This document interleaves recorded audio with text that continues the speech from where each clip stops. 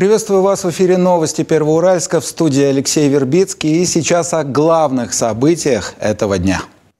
Экологическая акция, награждение лучших сотрудников и масштабная спортивно-развлекательная программа. На одном из крупных предприятий Первоуральска отметили День химика. Подробнее о праздничных мероприятиях расскажем в сюжете. Экологическая акция, награждение лучших сотрудников и масштабная спортивно-развлекательная программа. На одном из крупных предприятий Первоуральска отметили День химика. Подробнее о праздничных мероприятиях расскажем в сюжете. Здесь зарождается аллея химиков. В честь профессионального праздника сотрудники завода «Хромпик» высаживают 26 лип и 26 рябин, выращенных в природном парке «Оленей ручьи». Акция также объединяет ветеранов предприятия, студентов политехникума и учеников подшефной школы номер 12. В числе волонтеров директор завода по экологии Юрий Жильцов. Мы продолжаем благоустраивать наш Хромпиковский парк. Это, конечно, большое дело. Экологией занимаемся на производстве. Ну, а это тоже как бы наша привлекающая территория, зона отдыха работников. Ну и вообще жителей Хромпика. Экологическую акцию проводят в театральном парке совместно с областным отделением Всероссийского общества охраны природы. Десятилетиями мы наблюдали процессы, которые происходили на этом предприятии. Мы рады тому, что происходит сейчас. Сейчас происходит его оздоровление экологическое, экологическое оздоровление территории. День химика продолжает отмечать в театре драмы «Вариант». На сцене лазерное шоу, концерт и, конечно, слова благодарности сотрудникам предприятия от руководства за достигнутые показатели на производстве. Химическая отрасль занимает базовую, системообразующую часть промышленности страны. И мы занимаем видимое место в этой отрасли. Только за последнее время заработная плата выросла средняя почти на 100%. За многолетний добросовестный труд двоим сотрудникам завода присвоено звание «Почетный химик Российской Федерации». Это упаковщик цеха номер два Игорь Габитов и электромонтер цеха электроснабжения Константин Морогов. Работаю я здесь 23 года. Пришел в далеком 2001 году. Завод это стал моей второй семьей. Люди хорошие, добрые, отзывчивые. Работа интересная. Я буду продолжать работать. Я люблю свой завод. Всего в честь профессионального праздника награды получают 79 сотрудников. Их отмечают благодарственными письмами регионального Минпрома, почетными грамотами Союза предприятий и организаций химической промышленности, а также законодательного собрания Свердловской области и главы Первоуральска. Хочу искренне поблагодарить вас за ваш труд.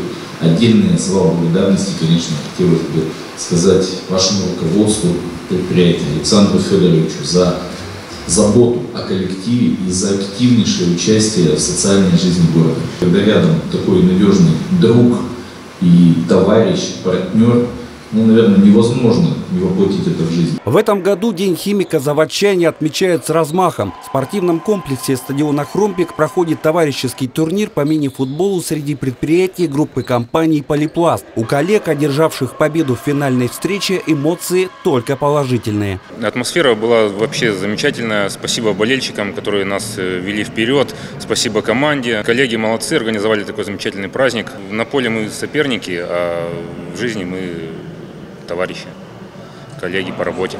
Сразу после турнира награждают и призеров заводской спартакиады. В этом году она вновь проходит масштабно. В соревнованиях приняли участие 6 команд и около 100 сотрудников. Лучший коллектив – цех номер 8. Очень приятно, то есть, что люди то есть, с разных цехов э, приняли участие. То есть, это во-первых. Э, во-вторых, это объединяет всех.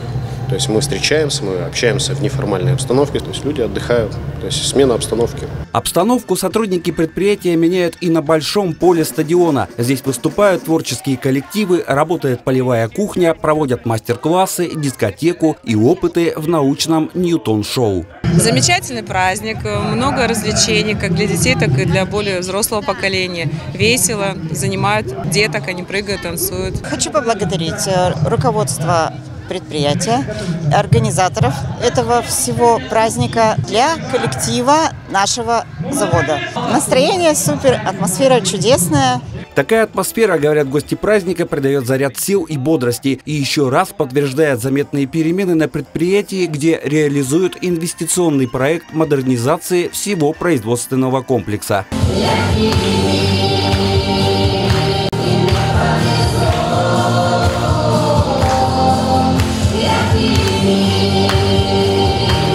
Дмитрий Солюков, Петр Спиридонов и Михаил Пиранков. Новости Первоуральск.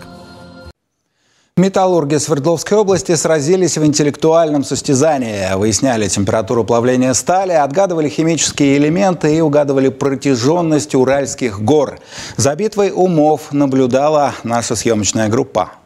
Угадать рабочее оборудование по описанию или вспомнить, какой металл упоминается в известной песне. Это лишь пара заданий интеллектуально-развлекательной игры «Наш равно ваш квиз». Среди ее участников металлурги из трех городов. Любителей мозгового штурма собрали на своей площадке активисты Первоуральского новотрубного завода. Команда, которая сегодня присутствует, э, это, собственно, тоже представители не только других заводов, но и разных профессий. То есть все темы, которые сегодня, собственно, проходят сквозь всю игру, это металлургия, это а, Урал, да, то есть все, что нас связывает, объединяет. Участвуют сборные тех заводов ТМК, которые в этом году празднуют юбилей. Помимо Первоуральского, отметившего 90-летие, Северский трубный завод 285 лет и Синарский тоже 90. Самую эрудированную команду выбирают в формате квиза. Назовите исполнителя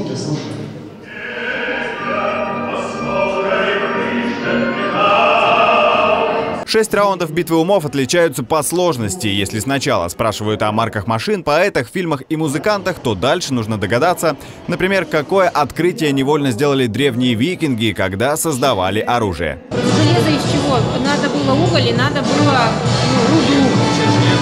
Вот я, кстати, про руду говорила, может, руда?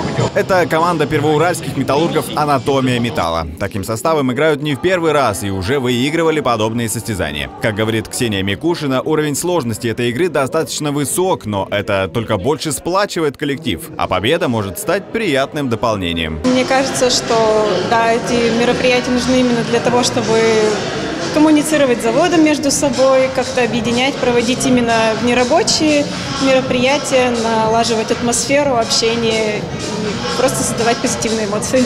А это команда металлургов из Каменска-Уральского. В таких состязаниях они дебютанты, рассказывают, помимо новых знакомств, приобретают полезные знания. Немножко сложновато нам поэтому, что мы первый раз, но стараемся, где-то доходим чисто вот просто логику включаем и доходим, берем правильные ответы. Где-то немножко сомневаемся, не попадаем в правильные. Но ничего, для первого раза, думаю, нормально. Цель просто показать достойно свое предприятие и получить удовольствие от игры. По результатам игры победителем, набрав без малого 39 баллов, стала команда «Анатомия металла». Все участники получили дипломы и памятные подарки. Виталий Мотин, Денис Храмцов, Новости, Первоуральск.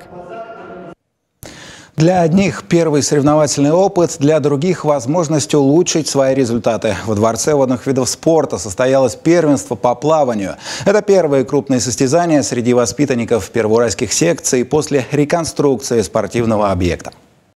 Все, что нужно для авто, выбирай в Автобюро. В наличии более 30 тысяч наименований автозапчастей для любых марок автомобилей, расходные материалы, масла и эксплуатационные жидкости. Автобюро Ленина, 53. Соревнования итоговые, подвести итоги года, посмотреть, э, как ребята чему за год научились, каких успехов достигли, э, справляются, не справляются.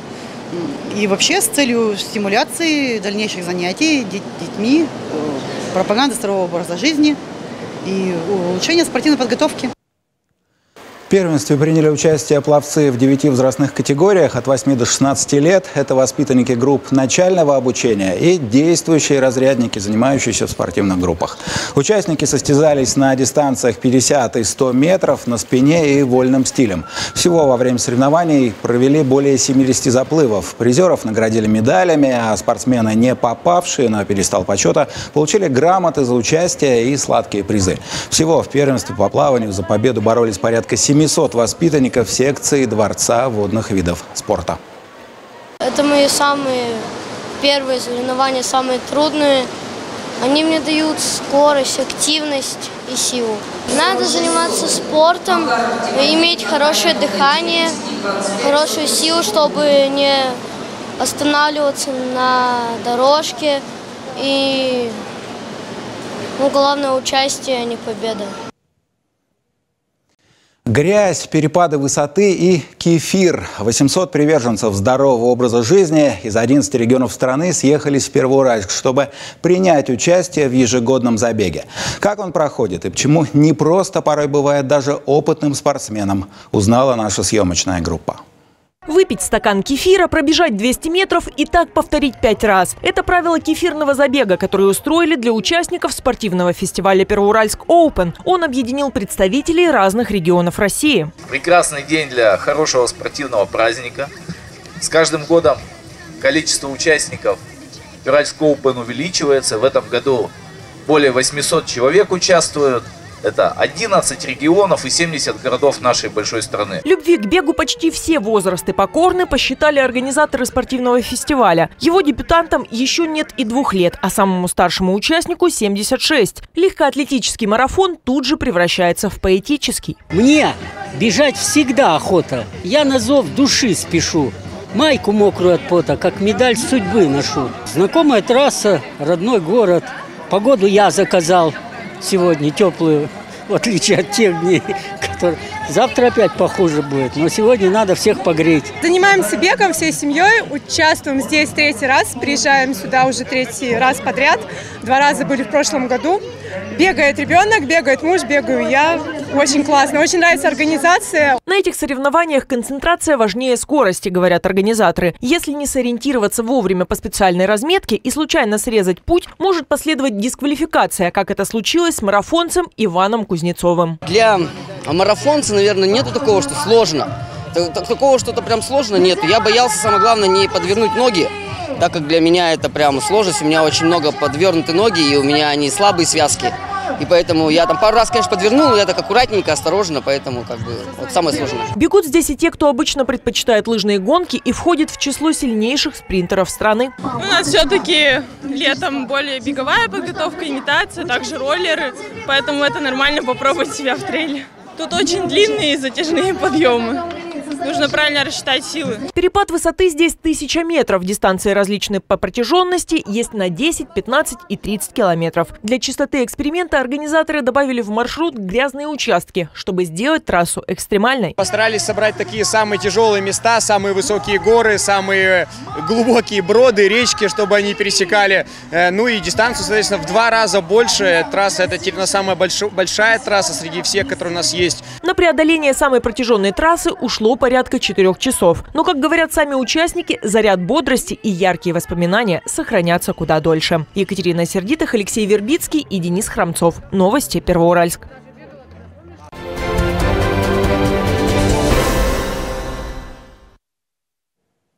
В Первоуральск приехала необычная ярмарка. Как утверждают ее организаторы, довольным останется любой гость. Какие товары будут представлены и в чем их уникальность, узнавали наши корреспонденты. Мы создали идеальную женскую обувь на лето. Во-первых, мягкая шлифованная бесшовная кожа, которая скрывает все недостатки. Во-вторых, бесклеевое соединение с подошвой, что исключает неприятные запахи. И в-третьих, супер удобная колодка. Подошва Эва, которая ароматизирует при ходьбе и не стаптывается, а также цельная пятка. Такую уникальную линейку женских туфель производители создали, собрав огромное количество отзывов и пожеланий, проанализировав тысячу моделей. Работа длилась на протяжении 19 лет в этой сфере. На белорусской ярмарке представлена обувь для всех типов ног. Она подойдет даже покупательницам, у которых есть такие проблемы, как выступающая косточка или большая полнота ноги. На распродаже белорусской обуви можно найти модели закрытого и открытого типа. Туфли, сабо, босоножки, лоферы, ботинки, полуботинки и сапоги. Ярмарка работает до пятницы 31 мая включительно с 10 до 19 часов.